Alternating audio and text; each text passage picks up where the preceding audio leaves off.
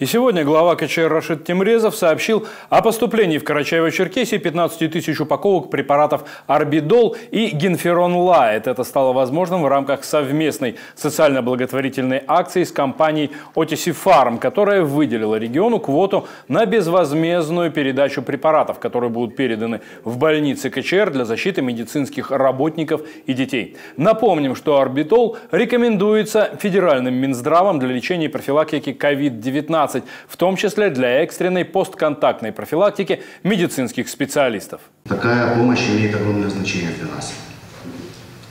А, поскольку врачи, рискуя своим здоровьем, приходят на помощь а, больным э, и сложный эпидемиологический период, и сейчас, когда заболевание идет на спад. Хотел бы выразить благодарность э, волонтерам, нашим медикам и пациентам. Спасибо.